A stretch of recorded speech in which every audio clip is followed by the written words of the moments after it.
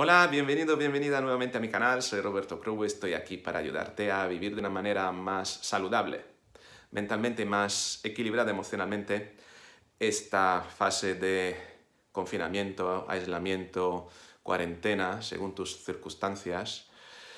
Y hoy quiero hablarte de mm, el uso del móvil cuando salgas de casa, bien sea a pasear el perro, bien sea a, hablar con la amante o el amante, eh, aprovechando la salida de casa o bien simplemente haciendo la compra, ¿no?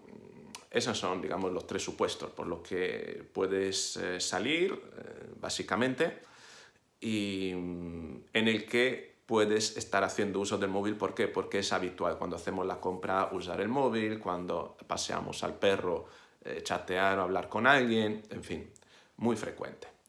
Todo esto incrementa de una manera muy importante las posibilidades de, uno, contagiar si estás enfermo y no lo sabes, si eres portador o portadora, y dos, dos ser contagiado o contagiada por agentes externos que no estás viendo, que estás introduciendo ¿eh? en, eh, digamos, tu rutina. El primer caso, muy sencillo, mm, sales con manos o con guantes, ¿eh? em, tocas puertas, manillas, incluso vas a hacer la compra. Si vas a hacer la compra, además te van a dar unos guantes. Bien, pero tú todo lo que estás tocando ahí en un principio debería estar bien porque todo el mundo lleva guantes. Pero quién sabe, quién sabe, un estornudo, alguien que se toca la cara, em, alguien que habla por el móvil también, ¿eh? y hablando por el móvil deja sus partículas en el móvil, luego chatea, toca la pantalla y toca algún producto. ¿Bien? Entonces, el virus está ahí, imagina. ¿Bien? Entonces, em, ¿qué haces tú? Tú vas y claramente, eh, ¿qué vas a hacer? Pues vas, tocas esos productos, ¿no?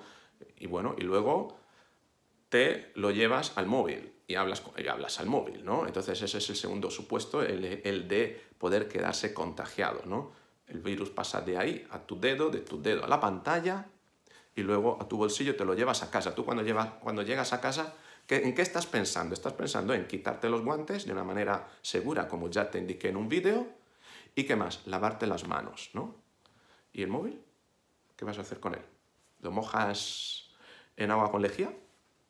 ¿Le pasas algo? Bueno, si le pasas algo, genial. Pero si has hablado mientras, eh, tener que tener cuidado eh, con lo que has hecho con el móvil. Tiene que estar muy pendiente, sobre todo si vives en zonas de alta contaminación, ¿eh? en zonas de alta densidad, alta probabilidad de eh, estar contagiado, ¿no? Son barrios, aquí debería haber un control un poquito como en China, ¿no? Cada comunidad de vecinos debería saber si está eh, dentro de un foco o no, ¿no? En ese sentido, se echa en falta un poquito la coordinación de la administración con los administradores de fincas, con los eh, propietarios y los inquilinos de las viviendas, que es, lo que, que es como se controló esto en China. ¿no? aislando eh, hasta incluso barrios y edificios según el nivel de contagio. ¿no? Bien, eh, afortunadamente de donde yo te hablo no estamos a esos niveles, pero no descarto que haya focos en grandes ciudades, ¿no? en España, como puede ser Madrid, que estén muy, muy, muy ubicados en determinados puntos ¿no? y que eh, trabajando bien y coordinadamente entre administración pública, fuerza del orden y administradores de fincas y propietarios e inquilinos de viviendas, se podría em, atajar bastante esto. ¿no? Pero bueno, eh, de alguna manera la organización tal vez eh, la, vamos, la vayamos logrando con el tiempo conforme esto avance, pero esperemos que eh, termine pronto, ¿no? Entonces, esos son los dos tips que te quería dar, ¿no? Sobre el uso del móvil. Primero, no usarlo en...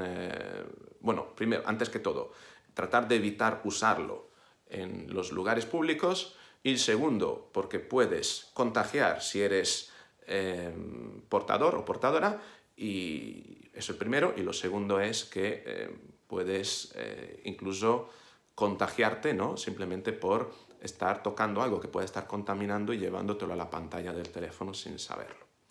Bien, con esto es todo, simplemente era lo que te quería comentar. Em, ¿Qué te parece? Tal vez soy excesivamente precavido. Estoy extremando demasiado las eh, medidas.